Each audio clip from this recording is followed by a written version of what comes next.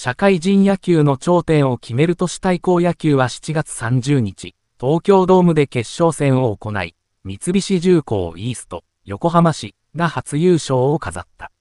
このチームの5番、中堅として日本一に大きく貢献したのが武田健吾外野手だ。もともとはオリックスと中日で計9年間プレーしたプロ野球選手。それが社会人野球の世界に来て3年目で念願のタイトルを掴んだ。本人の言葉を借りれば、クビになった僕はなぜ今も上手くなり続けることができているのか。30歳を迎えた武田に変身の秘密を聞いた。JR 東日本東北、仙台市との決勝戦、9回西から最後の打球は、中堅を守る武田に向かって飛んできた。フライを大事に掴むと、大きく両手を上げてガッツポーズ。マウンドにチームメイトが集まる中、外野手は武田のもとに3人が集合。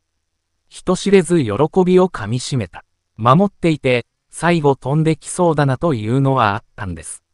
去年はベスト8で終わった悔しさと、チームで全員野球を掲げる中で副キャプテンにしてもらったのもあったので、感情が出てしまって。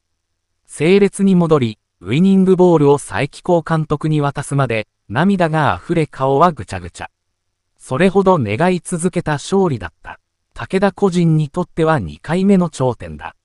前回は中日を自由契約になり、三菱イースト入りした2022年。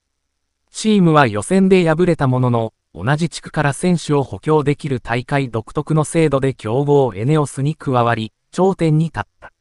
あの時はみんなについていった感じで、プレッシャーをかけながらも楽しんでましたね。